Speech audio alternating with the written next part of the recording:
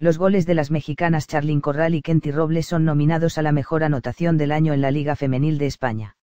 Las anotaciones de las futbolistas mexicanas Charlyn Corral, Levante, y Kenty Robles, Atlético de Madrid, están nominadas al gol del año en la Liga Femenil del Fútbol de España.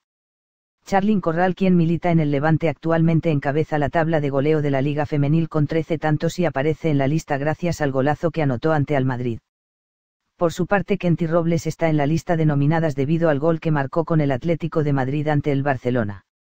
Las otras futbolistas nominadas son, Yaiza Relea, Real Betis, Lieke Martens, Barcelona, Carmen Fernández, Albacete, y Estefania Banini, Valencia.